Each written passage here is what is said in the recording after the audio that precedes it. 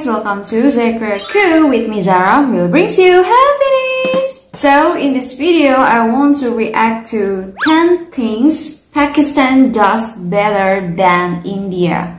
Wow, I'm so curious. Okay, let's get started to react. It's impossible to say which country is the best in the world. However, a case can be made for some countries just being better than others, at least in specific fields.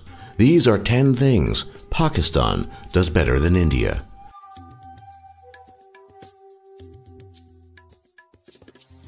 Pakistani combat doctrine is a complex subject that would require more than just a single video to investigate. Generally, Pakistani military command relies on a doctrine known as the quote-unquote offensive-defensive doctrine. The following is the general precept of this Pakistani doctrine. Number 1. Pakistan is vulnerable to Indian aggression because a majority of its population centers lie very close to Pakistan's border with India. Number 2.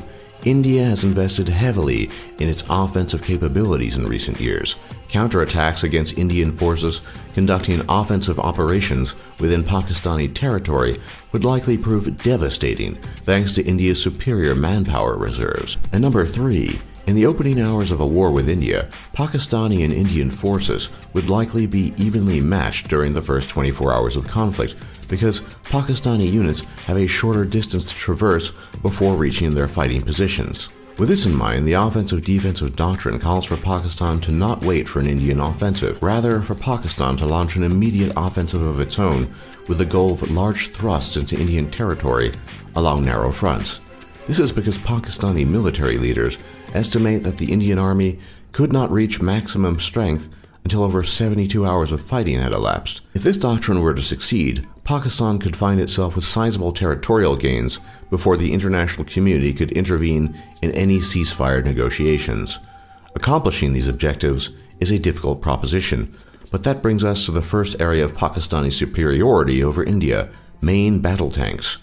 Pakistan not only has more main battle tanks than India, but also superior ones as well.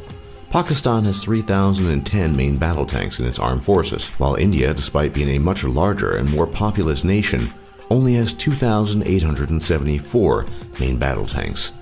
While it cannot be denied that India's army is larger, Pakistani military command has realized that warfare is not just about how many poorly trained recruits you can hand a rifle, but instead is about the coordination between modern armor and air power. The differences just don't end there, however. Pakistan's main battle tanks are also arguably superior to India's. Pakistan has access to Soviet-designed T-80U third-generation main battle tanks, but the mainstay of Pakistan's armored forces is the Al-Khalid main battle tank. The Al-Khalid main battle tank has modular composite armor and explosive reactive armor.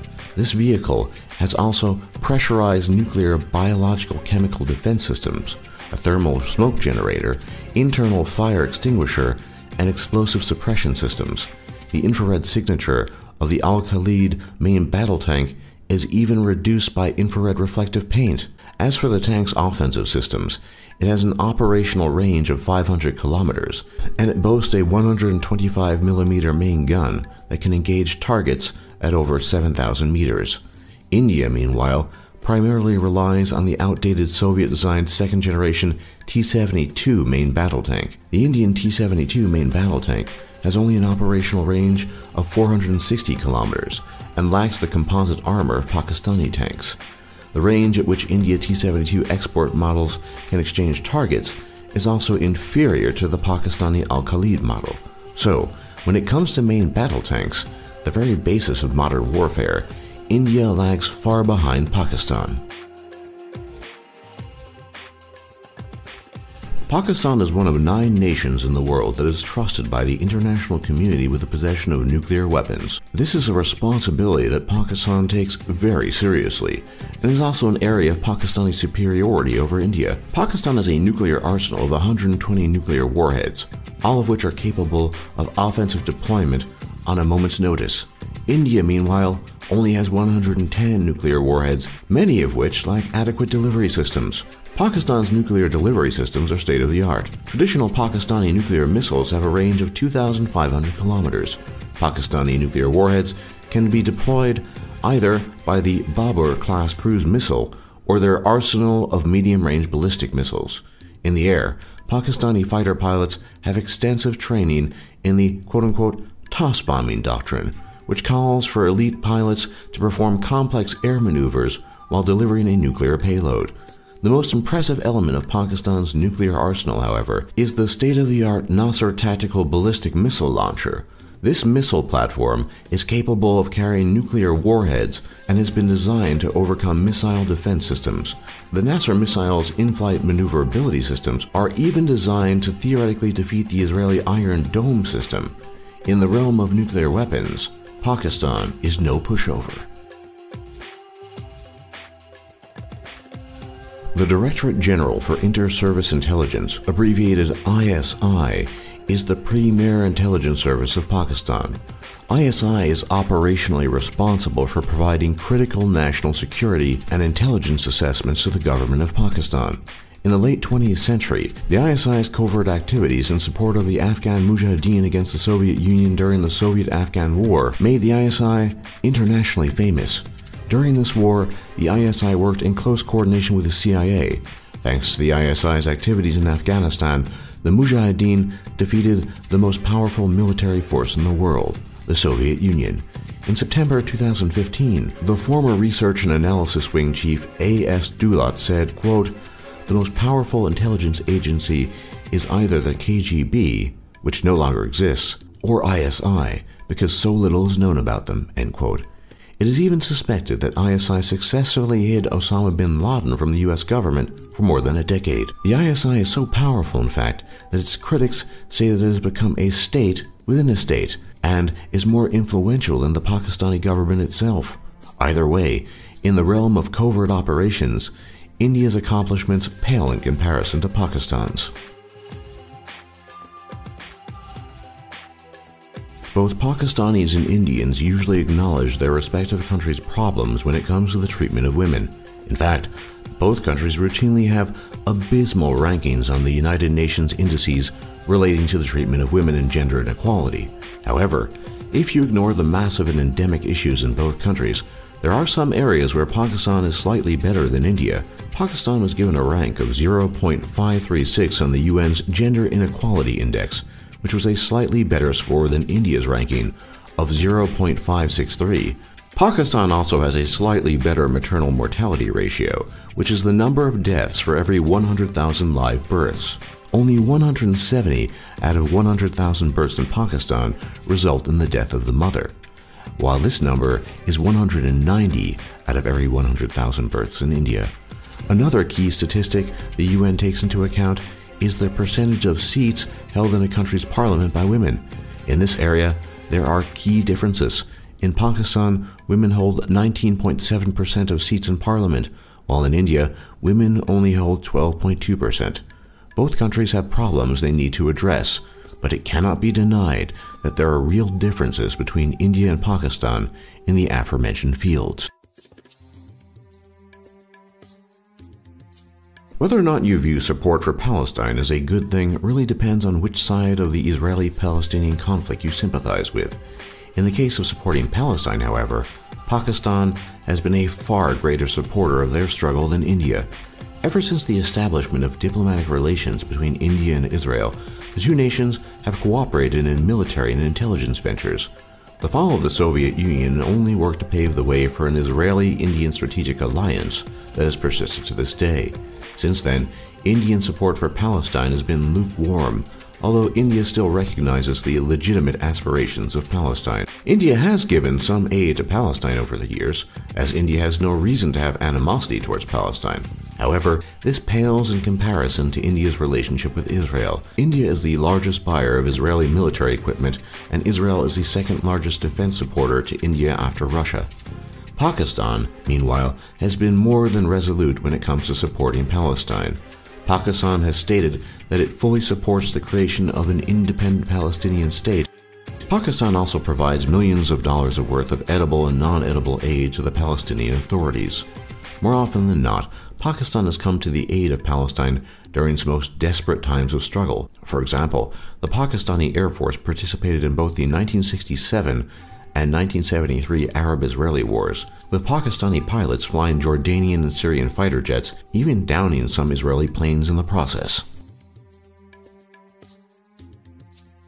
One would think India would have Pakistan beaten when it comes to large cities and population density. If you thought this, you would be mostly incorrect. Pakistan, in fact, has larger cities than India, which is very surprising to most people.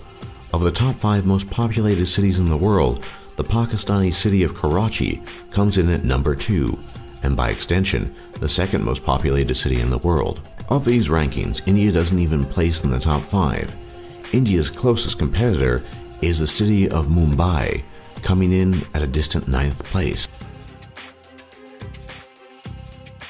Pakistan may not triumph over India in all manner of sports, but there are quite a few sports where Pakistan just is better. Pakistan is the best performing country of all time in the Field Hockey World Cup, with Pakistan claiming titles four times in years ranging from 1971 to 1994.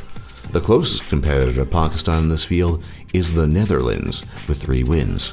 India, meanwhile, is only a distant fifth, with just a single win in 1975. In British Open squash, Pakistan has won 30 championships, more than any other country in the world. As for the World Open Squash Championships, Pakistan has won these 14 times, which is also more than any other country in the world. When it comes to these international sports, India has a lot of catching up to do with Pakistan. Pakistan utilizes more clean sources of energy than India.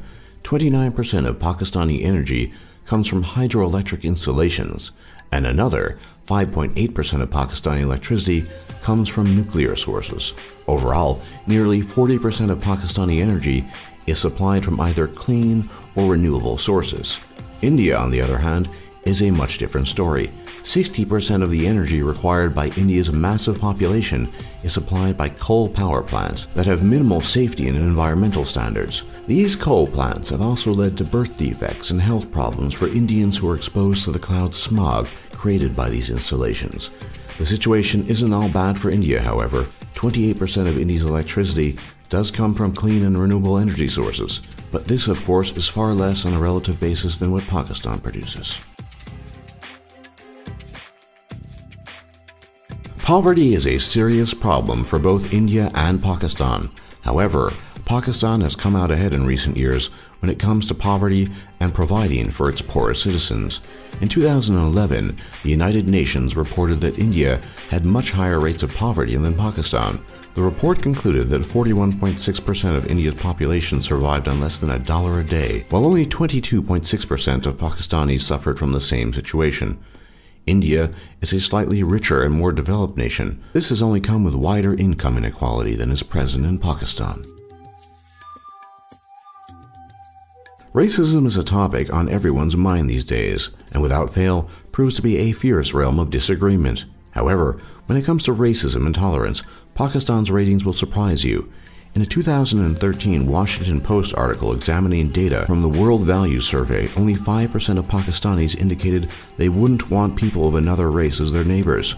India, on the other hand, surprisingly came in the highest out of almost every country in the world, with over 40% of respondents indicating that they would not like to have neighbors of another race. Either way, this is an area where both countries could stand to improve, but it cannot be denied that there is a difference in this category between India and Pakistan.